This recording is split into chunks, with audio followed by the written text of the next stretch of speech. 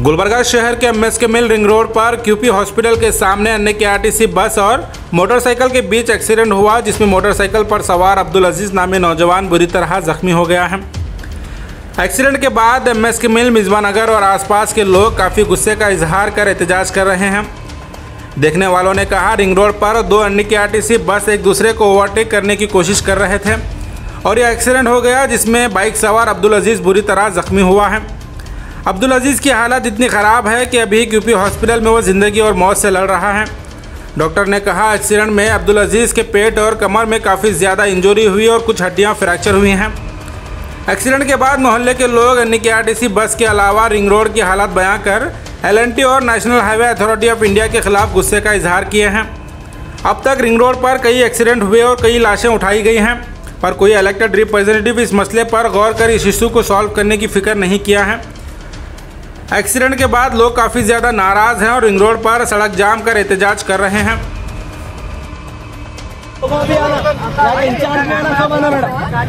देते हम नहीं जाने देते हम नहीं जाने देते मैडम मुर्दाबाद मुर्दाबाद। एनएचआई मुर्दाबाद। केएसआरटीसी मुर्दाबाद। केएसआरटीसी मुर्दाबाद। पुलिस डिपार्टमेंट मुर्दाबाद। वो लोग आ रहे हैं यहाँ पर।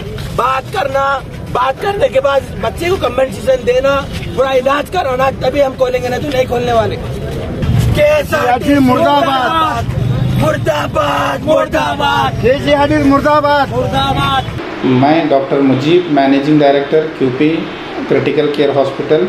आज की जो न्यूज़ में आने का मकसद ये है कि आज यहाँ पे हॉस्पिटल के करीबन करीब एक लड़के अज़ीज़ नामी शख्स का जो बुरी तरह से एक्सीडेंट हो गया है और पेशेंट को पूरा पेल्विक क्रश इंजरी हुआ है और मल्टीपल बोन फ्रैक्चर है, हमने जैसे ही इंटीमेशन लेते ही उनको immediately site of the accident से उनको लेके हॉस्पिटल लेकर आके उनको इमरजेंसी ट्रीटमेंट स्टार्ट किया है और तकरीबन उन्हें तीन से चार लीटर ब्लड लॉस हुआ है।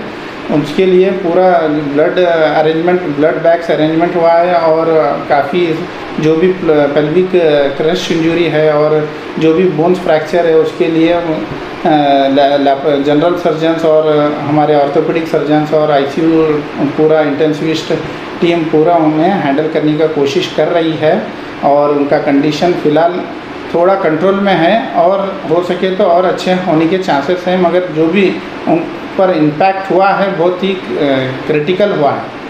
क्या क्या इंजरीज उनका टोटल इंजरीज उनके पेल्विक क्रश इंजरी यानी पूरा ब्लैडर इंजरी हुआ है बवल पूरा पेट के बाहर आ गया है और पेल्विक बोन्स फ्रैक्चर हुए हैं और right femur bone fracture left femur bone fracture left tibia fracture बहुत सारे तकरीबन चार से पाँच बोन्स फ्रैक्चर है और blood loss three two four litre blood loss हुआ है।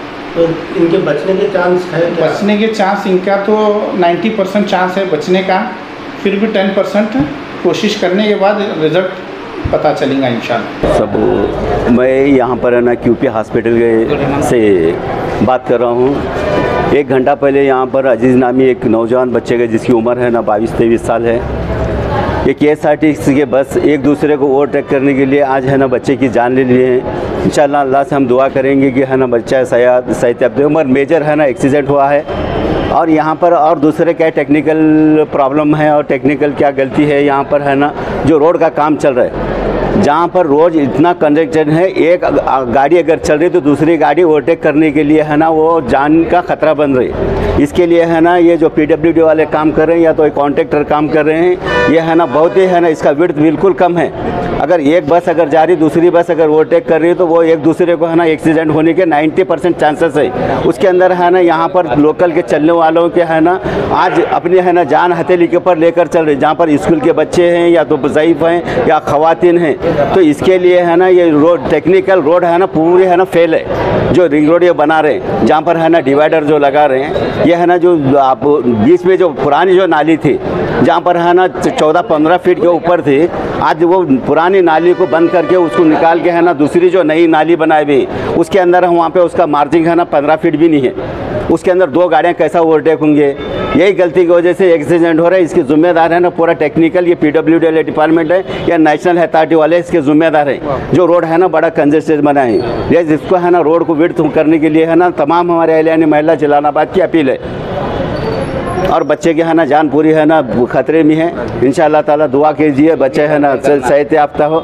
और यहाँ पर टेक्निकल पूरा ये पूरा, है ना, ये ज़िम्मेदारी, है ना, इसको दिए जाते हैं। और दूसरा क्या है के एस आर टी सी के जो ड्राइवर्स हैं, जो अपने ही बस को एक दूसरे को ओवरटेक करने के लिए, एक दूसरे को पैसेंजर के लिए, जिसकी, है ना, कोई परवाह नहीं है उनको।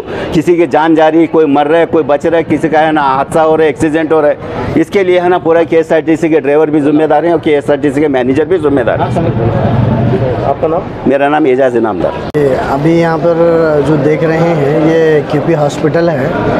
और यहाँ पर हमारे पड़ोस में जो बच्चा रहता है अब्दुल अज़ीज़ जो बहुत कमसिन बच्चा है छोटा सा बच्चा है कॉलेज का स्टूडेंट बच्चा है उसका जो है अभी बच्चे का एक्सीडेंट हो गया है। और जो के से जो बसेस है वो एक दूसरे से आगे बढ़ने में बच्चे की जान को जो है हलाकत में डाल दिए हैं, क्योंकि बच्चा बहुत सीरियस है। इसलिए मेरी गवर्नमेंट से और गुलबर्गा लेवल से ये अपील है कि हम थोड़ा सा अपने रोडों को जो है थोड़ा सा वसी करें और जिस हिसाब से रोड बनाई गई है कि एक तरफ़ से जो है टू व्हीलर चले या ऑटो वगैरह चले, उस हिसाब से पब्लिक को जाने के लिए दरख्वास्त हैं। और जो मेन रोड है, जो हाईवे है, वो वहाँ से पहले तो ये बात है कि रोड बना ही गलत है। और उसके ऊपर पब्लिक जो है, किस तरीके से चले, ये पब्लिक का जो है, ये हमारा, हम अपनी जान को हलाकत में लेकर जो है रोड पार कर रहे हैं और जो है रोड के ऊपर से गुज़र रहे हैं और रोड के ऊपर और ये जो हमारा जिलानाबाद का और जो एम एस के मिल का जो एरिया है, यहाँ पर जो है हमेशा बहुत सारे बच्चे स्टूडेंट हैं कॉलेजेस हैं और बहुत सारी लड़कियाँ हैं, ख़वातीन हैं जो हमेशा और हमातन जो है रोड पार करने के लिए सुबह और शाम जो है आते हैं और जाते हैं। इसी तरीके से जो है आप दुआ करें कि हमारे जो बच्चा है अब्दुल अज़ीज़ जो बच्चा है अल्लाह रब्बुल इज़्ज़त जो है उसको सेहत कामिला आयजिला दाइमा मुस्तमर अता फरमाए।